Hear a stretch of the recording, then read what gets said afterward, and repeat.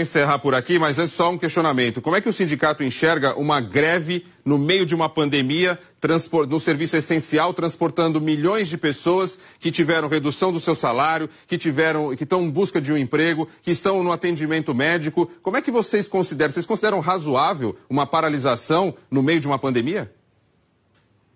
Eu considero. Teve uma, uma reportagem do G1 onde disse que os 42 bilionários do Brasil aumentaram a sua riqueza em quase 27% no período de pandemia.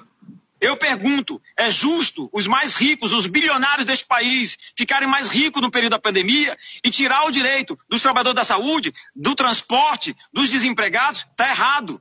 Então nós estamos dizendo o seguinte: a luta dos metroviários foi para resistir para que a gente mantenha o nosso nível de vida.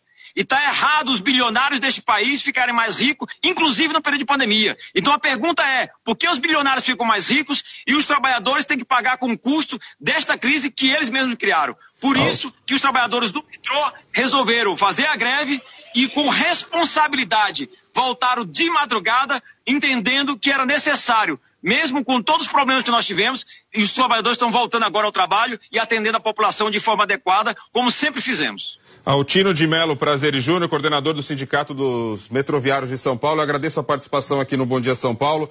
Um bom dia. Bom dia a todos, bom dia à população e vamos todos juntos trabalhar para que tenhamos uma sociedade melhor, porque essa sociedade é injusta. 7 horas e 46 minutos.